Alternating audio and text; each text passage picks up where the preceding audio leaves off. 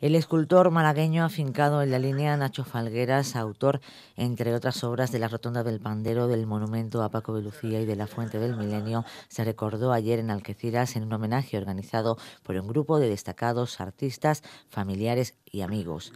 El cantautor Juanjo Argolla Pañuelo fue uno de los artífices del acto y se encargó de ponerle voz y música. El encuentro contó con una mesa redonda en la que participaron, entre otros, la hija del escultor Sandra Falgueras, el profesor y cineasta Ángel Gómez Rivero, el presidente del Ateneo José Román Juan Emilio Ríos y el exmatador de toros Miguelete. Durante la cita se proyectó un documental que recoge parte de la vida de Nacho Falgueras y de su obra.